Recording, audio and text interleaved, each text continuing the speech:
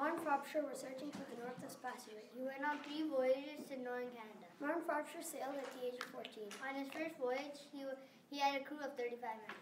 On his second voyage, he had the galleon that weighed about 200 tons. On his last voyage, he had a ship that weighed 7 tons and he couldn't sail to the end of the bay because most of the men were missing. When he returned back to England, he brought back a storm. Then he went back to that place to mine 200 tons of ore. He made it back before the winter ice could trap him. Thank, Thank you. you.